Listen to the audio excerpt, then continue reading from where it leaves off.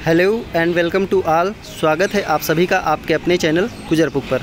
तो दोस्तों, जैसे आज वीडियो री एग्ज़ाम की पहली शिफ्ट का एग्ज़ाम हो चुका है तो यहाँ पर मैं एक सेट है एन एन फोर इसकी पीडीएफ मैं आप लोगों को दिखा रहा हूँ। तो ये मैं आप लोगों के लिए डाल दे रहा हूँ ताकि आप लोग देख लें कि पेपर किस लेवल का आया हुआ है। अभी मैं इसके आंसर्स नहीं बता रहा हूँ, इसके आंसर्स आप लोगों को बाद में करवा दूँगा और इसकी पीडीएफ मैंने टेलीग्राम पर भी डाल दी है, वहाँ पर आप लोग जाके देख सकते हैं।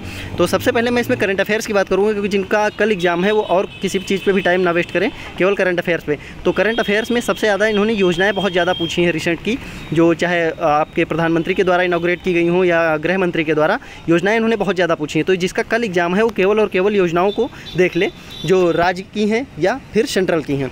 और बाकी किसी चीज़ पे टाइम ना वेस्ट करें। अगर आपको रिवाइज करना है तो आप केवल जीएस और करंट पर ध्यान दीजिए। और उसमें भी सबसे ज़्यादा आप करंट पर ही ध्यान दीजिए।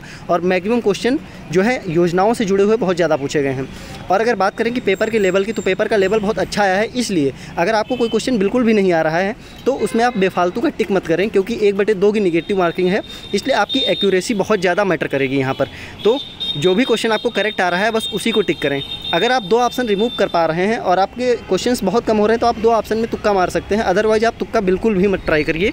सीधे आपको जो करेक्ट आंसर आ रहा है, वही करिए। हंड्रेड से वन हंड्रेड टेन के अप्रॉक्स क्वेश्चन सफिशियंट होंगे, जो लेवल है पेपर का। धन्यवाद।